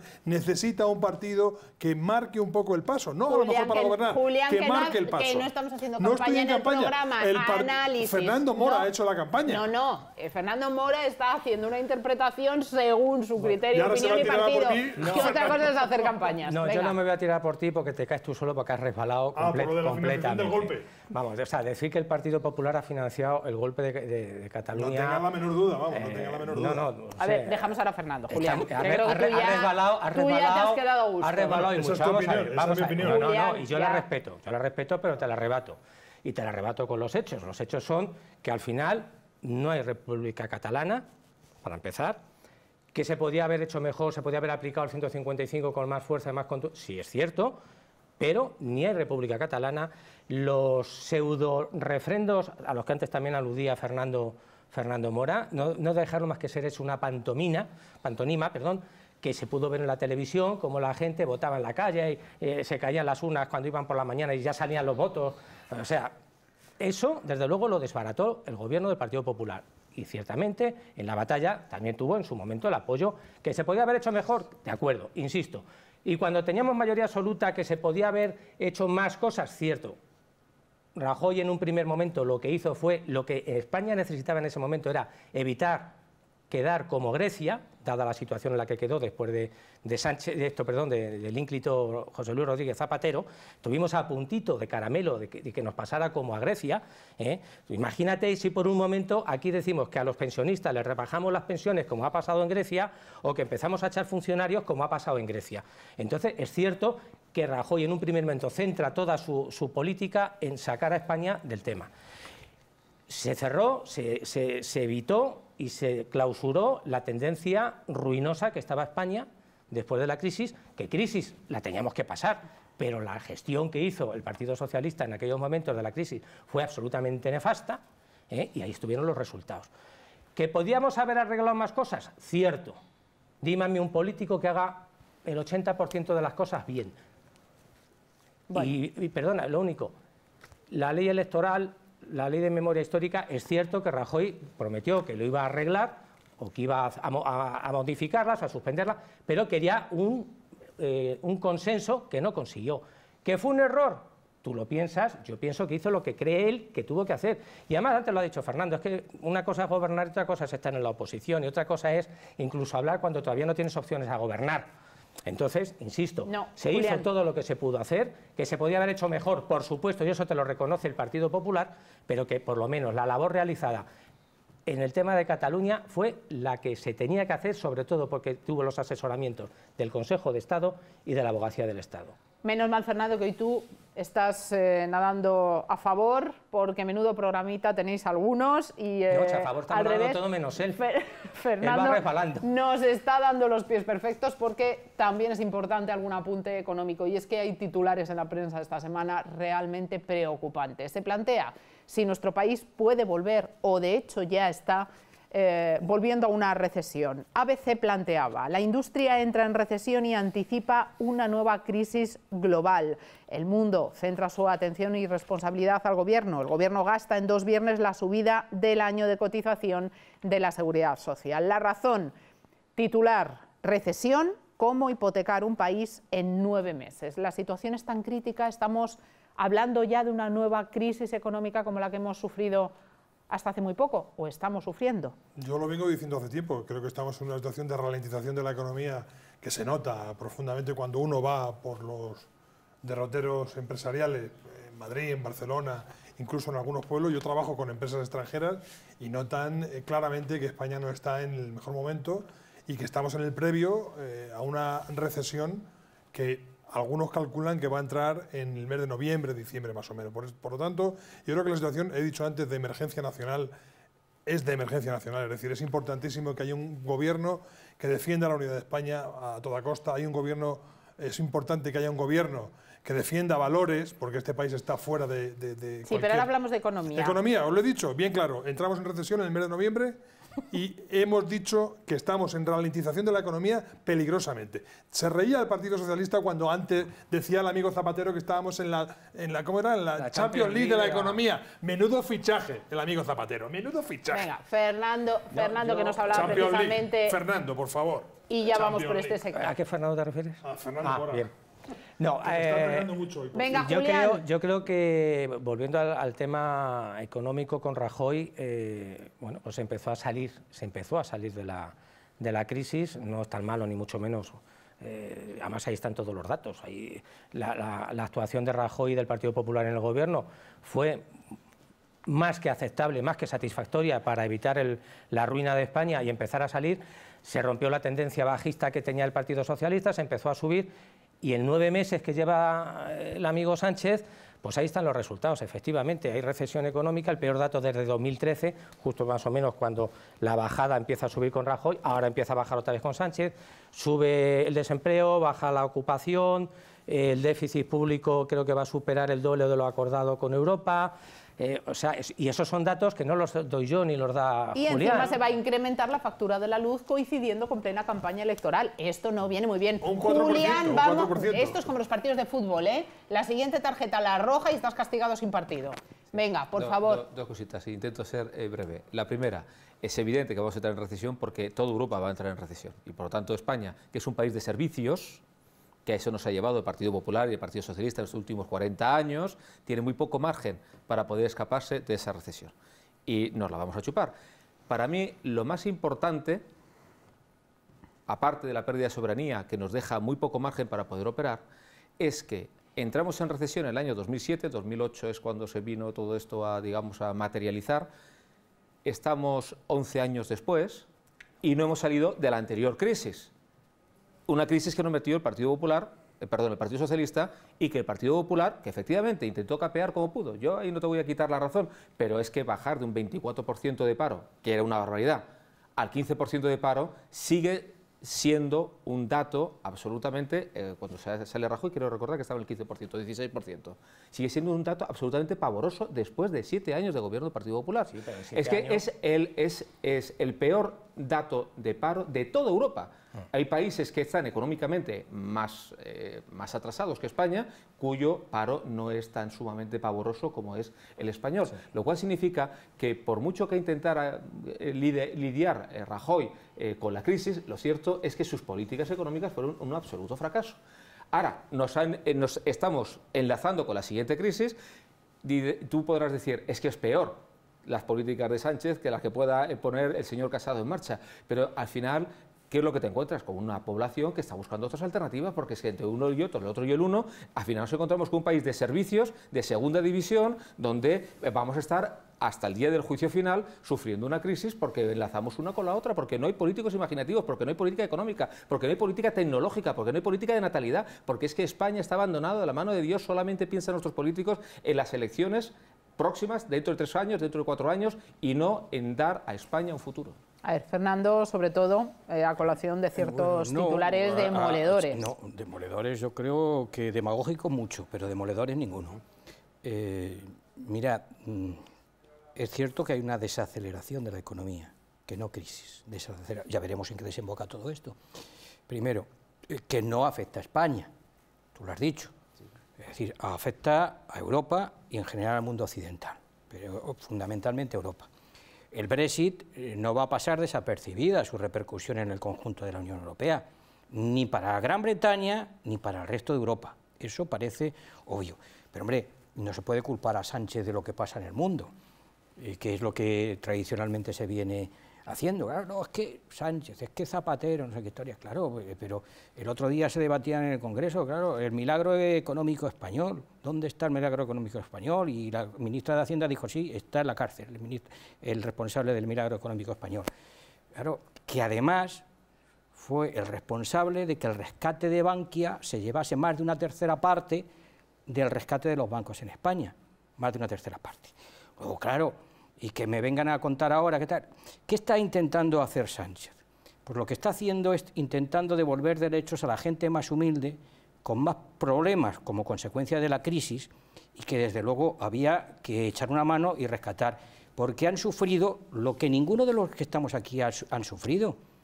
Y eso la gente también lo valora. ¿eh? El que de alguna manera Hombre, pues eh, eh, gente que ha padecido y que, y que no tenía para pagar la luz. Y sigue teniendo para pagar la luz no, escucha, porque está subiendo el recibo Escucha un momentito, no tenía para pagar la luz, pero se está ayudando porque además hubo un acuerdo para eh, que evidentemente la gente que tenía problemas con el tema de la luz pues tuviese que o pudiese acogerse al, tema de la factura energética para que pagar menos o no pagar incluso, ¿no? Y, y gente que lo ha pasado mal los inviernos que lo ha pasado malos inviernos, y, niños, y niños que tenían problemas de alimentación, y se han tenido que abrir los colegios para que los niños recibiesen, recibiesen comida. Eso, ¿Es, un demagogo. No, no, no. Pero, lo siento, no, perdóname. perdón, estás utilizando unos argumentos. No, dame, perdón, bueno, perdóname, como tú no lo sufres, como tú no lo sufres, no te importa. Pero yo vivo en este mundo igual que vives tú, somos, y a mí me gustaría ver qué colegios se han abierto para los niños hambrientos españoles. Muchos, dímelo. muchos, muchos colegios. Y en solamente con uno ya me conformo. Y en Castilla-La Mancha, bastantes. Y en Castilla-La Mancha, bastantes. ¿Vale? Porque tu vida, o la de Fernando, o la de Julián, o la mía, no es la vida de la inmensa mayoría. es muy triste, Fernando. pero que no, que esas políticas sociales no existen. Las únicas políticas sociales que pueden existir en un país son aquellas que fomenten el empleo. Que la gente pueda trabajar y vivir con dignidad. no es una cuestión de decir yo apruebo una serie de partidas para repartir miserias, porque repartiendo miserias al final... Plan 13.000 millones de euros espera un momentito. a la basura. Vamos a ver, pública, vamos a ver. primero hay que ser evidentemente hay que ser solidarios, porque dice no, no, como esto lo... Pero mientras, mientras solucionamos el problema del empleo, es que si repartes pues, el dinero, si lo que haces es subvencionar aquí a, no, no, y siniestro, en vez de dedicarlo a fomentar el empleo, al final no hay empleo y no hay dinero porque te lo has gastado. Perdóname, en Castilla-La Mancha, ¿eh? que es donde soy diputado de las Cortes Regionales, el, el desempleo que nos encontramos, ¿eh? Eh, o que había en Castilla-La Mancha, estaba en el 25%, más por encima del 25%. Ahora estamos en el 15%. Luego se ha, reducido 10 puntos. Es mucho, todavía sigue siendo mucho el 15%, pero reducir el, 10% también es importante, porque ha habido gente que ha encontrado empleo. ¿eh? Y que hoy, pues bueno, pues tiene algo que llevarse a, la boca a comer, que tiene un trabajo, que tiene... Eh, y mientras tanto, quienes, por ejemplo, tienen más de 55 años, ¿eh? y tienen problemas para encontrar trabajo, y tú lo sabes, pues evidentemente hay que ser solidarios con ellos.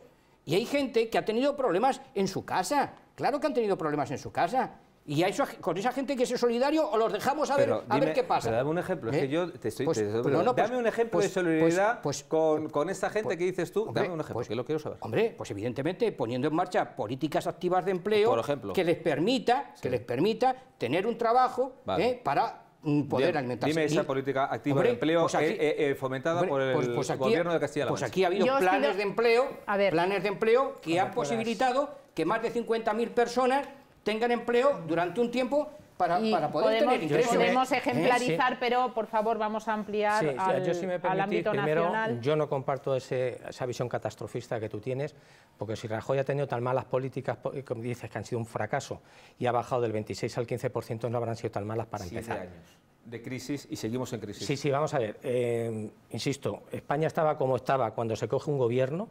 Tienes que parar, tienes que parar todo, todo el, eh, el, este, el la, inercia. la, inercia. hacia arriba de paro, de crisis, de, horror, empezar a bajarla. ¿eh?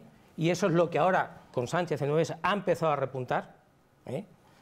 Y dos, estoy de acuerdo además con Fernando en una cosa. Bueno, ahora mismo efectivamente cuando entra Emiliano García Paje hay un 25%, pero cuando entra María Dolores hay un 22 o por ahí. Pero, por favor, no, vamos a analizar no, datos no, no, pero, no, pero perdona, perdona. el perdona, perdona, si yo no te he dicho que se aumentara. Espectro nacional, compañeros, No, no, pero por favor. no, es que ha hecho una de estas que, que yo estoy diciendo que, que, está bien. Si yo alabo, alabo por supuesto que de un veintitantos por ciento haya un 15, es que eso significa que hay menos, menos desempleados en Castilla-La Mancha y yo soy castellano manchego, encantado de la vida.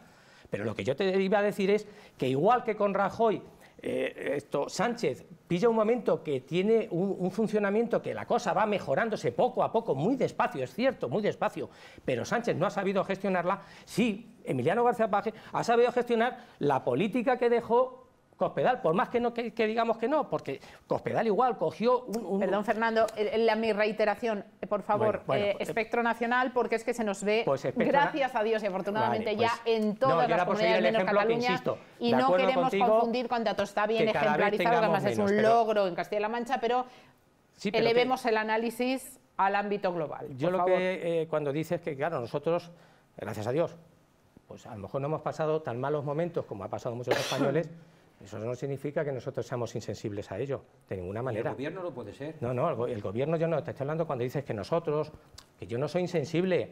Eh, yo conozco gente y tengo gente cercana que eh, lo ha pasado muy mal, ¿eh? lo ha pasado muy mal. Entonces, todas las políticas que sean favorables, fenomenal. Pero yo lo que estoy diciendo es que a nivel nacional, desde que Sánchez es presidente del gobierno, esto ha empezado a empeorar esas medidas, y en eso que tú decías, claro, dar miseria para, crear más miseria tampoco es, eso. El, propio Banco de España lo ha dicho, el salario mínimo interprofesional, subirlo a 900 euros suena muy bien, pero el Banco de España ha dicho, y los grandes especialistas en materia económica lo han dicho, eso a la larga va a crear desempleo. Sí, pero porque ni tú ni yo ganamos 900 euros. Pero es que si no que gane 800 no gane nada tampoco. Vale, pues cada un señor que me parece bien, unos van a empezar a ganar 900 o más, o lee por ellos, pero va a haber 125.000 que van a ir al paro. Eh, Eso es lo que dice el Banco de España para no, No, no dice, pero si es, que, si es que en mi labor profesional yo ya lo estoy viviendo. Sí. Lo estoy viviendo porque hay muchas empresas que están al límite. Y en el momento que tienes que incrementar en un 20% los salarios de la, de la plantilla, porque, porque está la subida más todos los costes que eso lleva aparejado, esa empresa la hundes. Y eso es un asunto, vamos, que yo lo, lo, tengo ahora mismo que vivir porque hay que reajustar esas empresas si es que tienen viabilidad, solamente por haber subido. Yo, lo más importante, es cierto, ojalá la gente ganara 900 o 1.500 euros, ojalá, cuanto más mejor. Pero lo más importante para un gobierno es que la gente pueda trabajar con dignidad y ganar un salario que venga a ser lo más digno posible. Y mientras que no haya políticas de fomento del empleo que sean reales, no se puede decir que se trate de implementar por decreto ley determinadas políticas sociales porque eso viene en, beneficio de la gente cuando en realidad no tienes ni pies ni cabeza.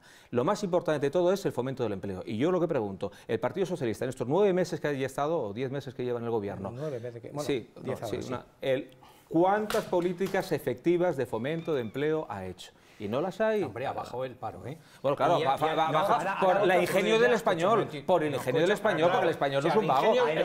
claro, porque ha seguido la reforma laboral, eh, que la querían reformar, pero dicho, bueno, la vamos a reformar, pero poquito. Terminamos con eh, Pero cuando ya lleva el paro, el paro, se ha incrementado el número de autónomos y con respecto al tema de los 900 euros, yo digo una cosa, claro, es que 900 euros, claro, a ti, si te dan 900 900 euros a ver cómo sobrevives. Y a cualquiera de nosotros. no, no, escucha, no, no, hombre, es que, no, es que parece que los 900 euros... Es que tú, mira, pero esto es lo que... Es que un paralelismo. La República Democrática Alemana, Polonia, la Unión Soviética, todo el mundo tenía un salario mínimo profesional eh, eh, impresionante. Y luego al final no tiene... Pero ¿qué tiene que ver esto con la República Democrática Alemana? No, porque es lo mismo, porque están repartiendo miseria se ve de crear riqueza. Calma todos, por favor. Porque te digo una cosa. Nos tenemos que... No podemos, Fernando. Una cosa y termino. A la vuelta muchas, todas las que quieras. Pero receso para publicidad hasta ahora.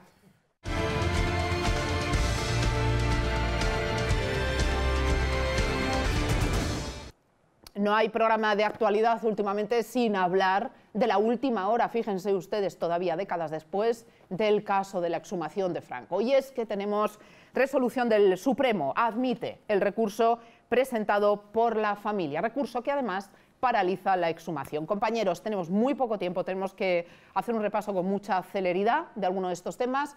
Desde el punto de vista jurídico, José María, ¿en qué punto nos encontramos? Bueno, pues parece ser que hay dos resoluciones, ¿no? La de admisión a trámite por parte del Supremo, más luego otra resolución que un juzgado contencioso administrativo pues paraliza las obras eh, que tendrían que ser realizadas en una forma material y los dos en el mismo sentido. Hasta que esto no se clarifique, no se puede exhumar a, Franco, ¿no? a pues Sánchez ya no le da tiempo. No, a Sánchez, al menos en esta legislatura. Eh, nunca se sabe si nuestro contertulio tiene razón, lo veremos en la siguiente, pero... ¿Y en la siguiente continuaremos hablando de la exhumación de Franco? Claro, porque este es el tema estrella, este es el tema estrella del señor Pedro Sánchez y no, no puede dejarlo... Es una apuesta personal de Sánchez, es una apuesta personal de Sánchez. Si resulta que el Supremo se lo, se lo termina tumbando, él personalmente iba a quedar muy tocado, porque es que ha, puesto toda la carne en el asador realmente yo creo que hay muy pocas políticas sociales, salvo las que se les van por las bocas, pero sin embargo esto de aquí sí que es una materialización real y bueno, pues a ver, veremos cuál es el resultado, pero vamos, yo creo que desde un punto de vista jurídico el gobierno no lo tiene fácil.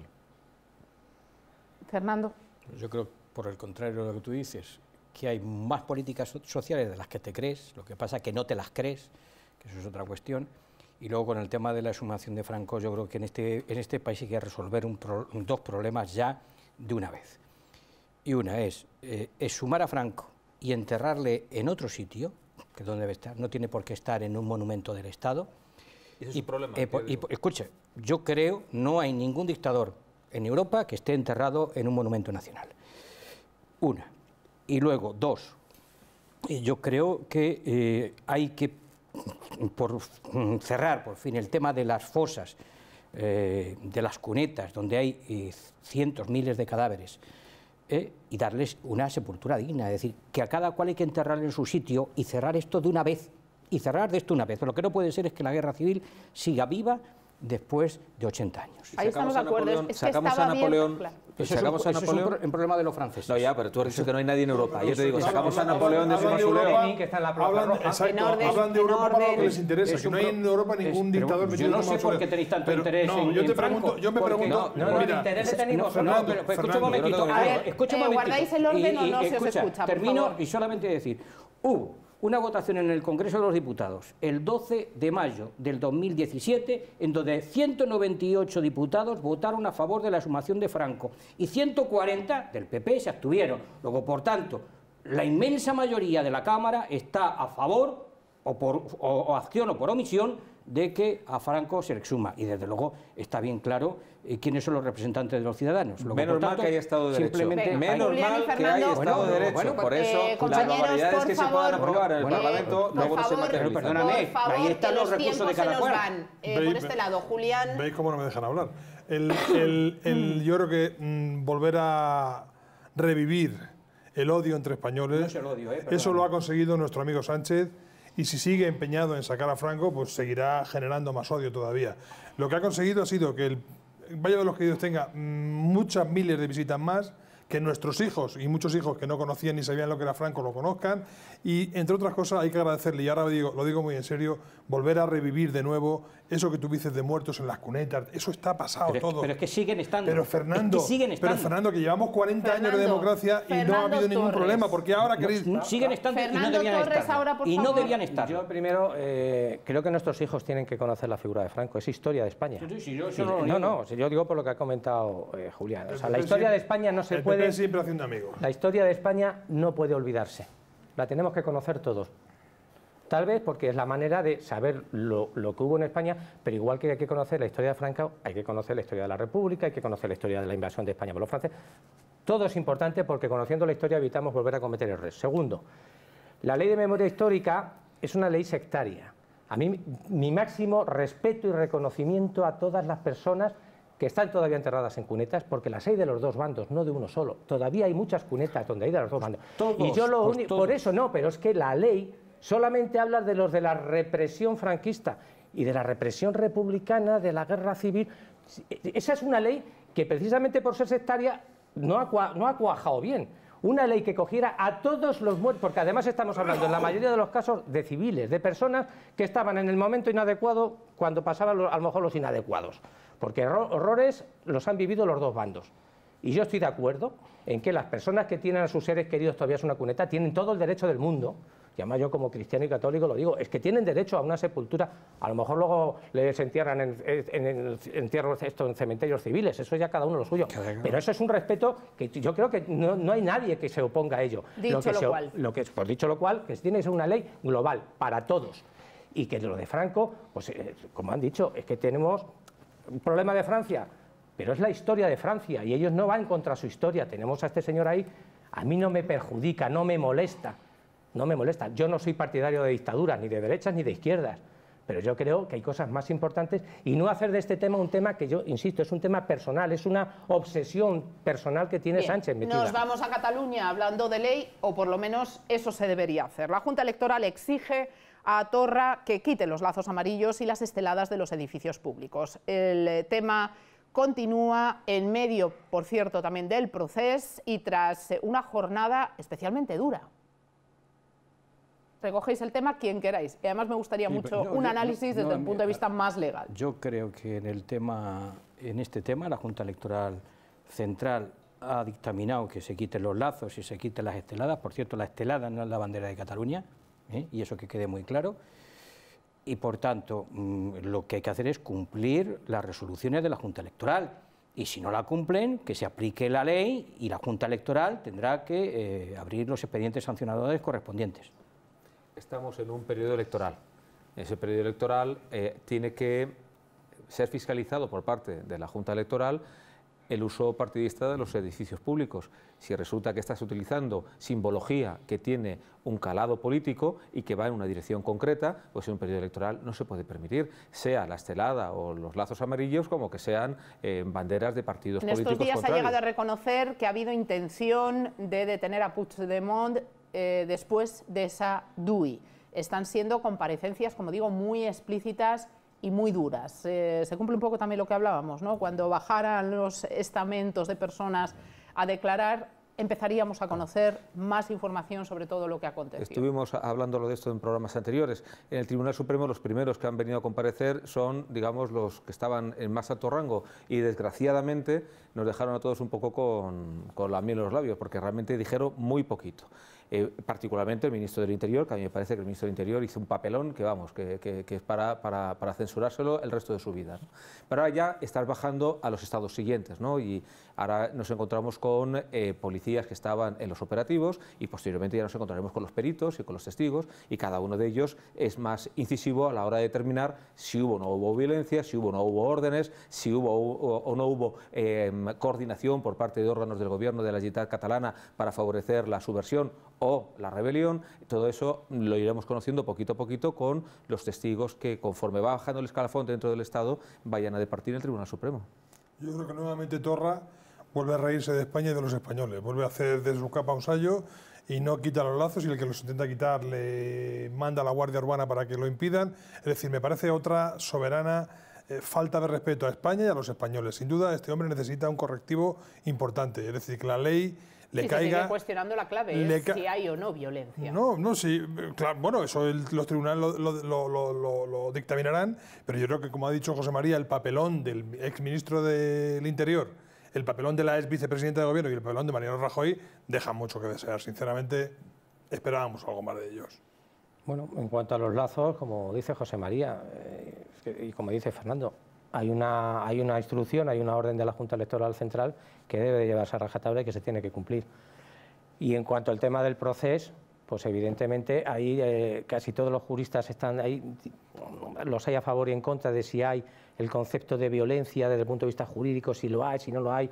Hay quien dice que al final, bueno, ha llegado alguna a decir que es que no hay vamos, ni, rebelión ni sedición de ningún tipo. De hecho, ya lo hizo el presidente. en un momento hubo rebelión, luego pasó a ser sedición. Pero Fuera de eso, lo que es evidente que hubo un atentado contra la Constitución, contra la unidad de España, y eso lo tienen que determinar los tribunales. Y en pues cuanto a la actividad de Rajoy, te vuelvo a decir, con Rajoy no ha habido República Catalana de ningún tipo, por mucha declaración que hicieron. Vale, de acuerdo, Fernando. Si lo que tú dices me parece muy bien, pero gracias a Mariano Rajoy estamos como estamos en No, en absoluto, en absoluto. No, no se puede atribuir ni, a, un presidente ni a una legislatura de situación de Cataluña. En mi opinión, pero permíteme, no, pero, no, me Julián, los Julián, Julián, no, Julián, permíteme tú a mí hoy, por favor, hacer mi trabajo, porque sinceramente y con todo mi cariño me lo estás dificultando. Eh, no tenemos tiempo, no podemos polemizar. Hemos conocido la posición y el pensar de cada uno de vosotros. Dejamos que termine Fernando, que estaba en el uso de su palabra. hace, hace unos meses eh, salió una viñeta, no me acuerdo en qué periódico era, en el que salía pues, eh, eh, la independencia como un dragón muy chiquitito, que luego los distintos partidos, Partido Socialista, Partido Popular, Partido Socialista, el, el, dragón ha ido, todo el mundo lo ha ido alimentando y al final al que iba con la espada le tocó a Rajoy. Y Rajoy ha conseguido, primero, los pseudos eh, referendos esos no han valido al final jurídicamente no tienen ningún valor y segundo, no existe lo que han pretendido los independentistas, que es una independencia y una república catalana. A Venezuela, repaso imperativo de la actualidad internacional porque la gravedad de la situación así lo exige. Eh, Venezuela permanece a oscuras, con todas las consecuencias que esto está conllevando. Guaidó ya ha declarado ese estado de alarma y convoca una manifestación para el próximo martes. Nos llevamos cuestionando en este programa cuál va a ser el detonante para que finalmente esta situación desemboque en una salida que entendemos que no puede ser otra que la salida de Maduro. Pero el caso es que no llega a ese punto y, sin embargo, eh, la gravedad, el extremo de la situación civil de los venezolanos ya es insostenible. Pues yo creo que la solución pasa evidentemente porque la presión popular cada vez sea mayor y que este hombre vea la evidencia de que no puede seguir y que evidentemente las Fuerzas Armadas se pongan del lado de los ciudadanos en vez de del lado de Maduro. La clave está en los altos mandos militares que ya empezaban a cambiar sus posiciones según las últimas informaciones. La presión civil no puede ser más. Estamos hablando ya de conflictos sociales. A mí lo que me... yo creo que a todos nos dolería eh, que en Venezuela acabase derivando en una guerra civil, lo cual sería trágico, realmente trágico. Es que esa presión social es una guerra civil. O algo peor, en una intervención exterior que, no que creo que no debe producirse nunca. Bueno, eh, primero analicemos la situación y después veamos a ver cómo se soluciona. El análisis de la situación yo lo tengo muy claro. Esas políticas económicas de pseudo marxistas en los cuales al final se ha tenido repartiendo las miserias entre todo el pueblo, eh, te quedas sin recursos económicos porque es un Estado absolutamente fallido y una población que está hambrienta no solamente ya las capas más populares, que por supuesto están pasando los canutas, sino también eh, las, eh, las, clases medias. Es un país desde un punto de vista económico absolutamente fallido por unas políticas que han sido nefastas. Eso es la situación en la que estamos viviendo. Ahora, ¿cómo puedes cambiar esas circunstancias cuando los que están en el poder se aferran al mismo de la manera que se está aferrando Maduro y, los suyos? ¿no? Porque la salida para ellos es, irse al exilio, porque no se pueden quedar en ese país. ¿Veis la salida? Eso es muy difícil. ¿Y cuándo? El cuándo no lo sabemos, la salida tarde o temprano tiene que llegar. Y eso eh, no solamente eh, eh, depende del pueblo venezolano, depende de la, comunidad internacional de apoyar al pueblo contra este individuo y, decir que resulta absolutamente indeseable esa izquierda española que tiene todo el día en la boca la libertad, la democracia y todavía es capaz de defender a este individuo. El propio Guaidó está solicitando ya, el propio Guaidó está clamando por ayuda internacional, PSOE, Fernando. estamos eh, hablando de Pablo Iglesias, de Monedero y toda esta gente. Estamos ¿eh? en Venezuela, el propio Guaidó está clamando eh, más ayuda del, del, contexto internacional. Sin embargo, todos los analistas coincidisteis en que la solución tiene que ser interna y tiene que partir del, propio Venezuela. Una, pero una pregunta que yo me haría. Es decir, si al final Estados Unidos ha pedido a España que si sería posible que acogiese aquí a dirigentes del régimen de, Maduro, incluso al propio Maduro, mm, ¿estaríamos de acuerdo en darle aquí asilo a cambio de que se olvide de, seguir gobernando Venezuela? recoge Estados Unidos? No, no, me pregunto, no, no, yo estoy de acuerdo en que esa gente tenga una serie, claro. No, sí, sí, pero bueno, pero bien, eso puede ser una solución. Si yo lo que estoy preguntando es, es eso, es decir, pues hombre, me vas a perdonar, si queremos sacar a un dictador muerto y estamos montando y queremos traernos a un dictador vivo y a darle de comer aquí, bueno, no hará falta porque ya traerá él suficiente para comer. No, si me pregunto, yo me pregunto, es decir, eh, ¿somos capaces de nosotros contribuir a la salida en Venezuela o se la dejamos a otros? yo, creo que, ese momento no va a llegar, Fernando, no va a llegar porque un narcoestado en el que se ha convertido nuestra querida Venezuela, lleno de, de bueno, 3 millones de personas que se han tenido que marchar de allí, donde gobierna una cúpula militar completamente corrupta, que está eh, sacando dinero cada día para comprar propiedades en otros sitios en España, están comprando edificios en Madrid, en la zona noble de Madrid, barrio Salamanca, etcétera, yo creo que tiene mala solución. Sinceramente creo que este hombre lo va a pasar mal va a pasar mal y yo espero que España no acoja a un dictador de esa categoría. Precisamente cuando está estamos claro hablando. Es que quienes lo están pasando mal son los venezolanos, los ciudadanos, la población. y esto tiene que. Ese es el, ese, es el mayor drama. Nos tenemos que ir. José María, por favor, disculpadnos. El tiempo se ha agotado. Fíjense, si empezábamos por una hora, vamos por dos, se nos quedan siempre cortas. Eh, seguiremos la próxima semana. Siempre es mejor quedarse con ganas. La actualidad no va a faltar y este equipazo menos aún. Así que muchísimas gracias, José María, Fernando Mora, Julián, Fernando Torres sobre todo a ustedes, por seguirnos como lo hacen cada semana. Muchísimas gracias, ha sido un programa intenso. Nosotros prometemos seguir trabajando de la misma forma esta semana para darles muy buena cuenta de toda la información en el próximo Es Actualidad. Hasta entonces, adiós.